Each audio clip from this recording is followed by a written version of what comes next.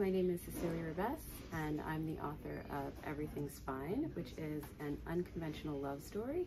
It's about two very different young people who fall reluctantly, complicatedly, passionately in love.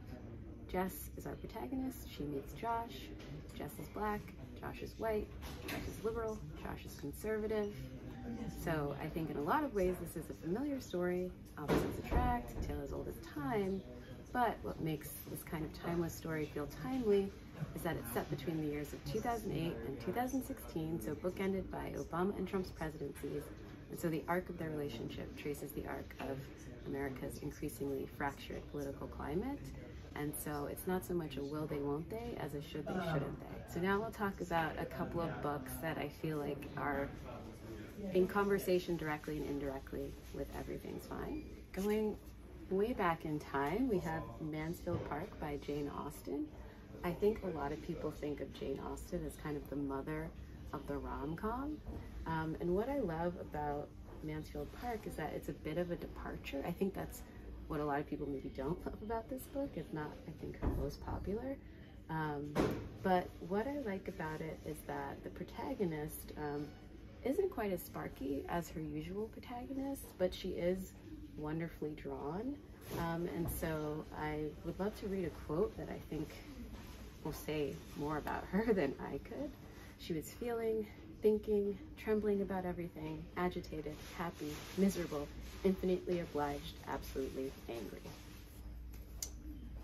The Bluest Eye by Toni Morrison. Um, this book is really difficult. Um, it is a coming of age story, so in a lot of ways, I think Everything's Fine is also a coming of age story. Um, and it's about sort of the insidious nature of white supremacy. Um, it's a tragedy. I think it's about abuse, hatred, um, neglect.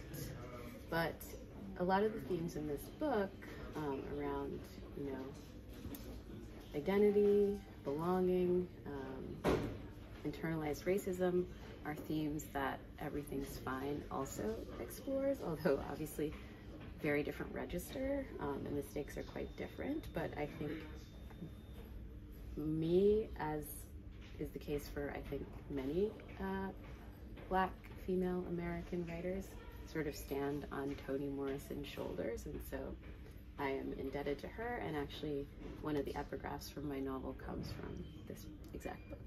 So next we have Americanah by Chimamanda Ngozi Adichie. This book has it all. Um, it's a bit of a love story. Um, it's a bit of political fiction. It's an interrogation of race um, in America. And I think that it's smart, it's funny, it's observant.